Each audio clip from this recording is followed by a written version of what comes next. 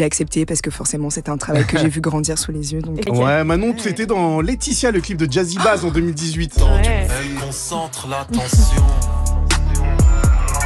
Qui aura celle de Laetitia? T'étais jeune à l'époque, hein. C'est ce que j'allais Enfin, t'es toujours jeune, en vrai. Jazzy. Bass, moi. Je tiens à le dire. Voilà. Mais je, je, Mais je comprends.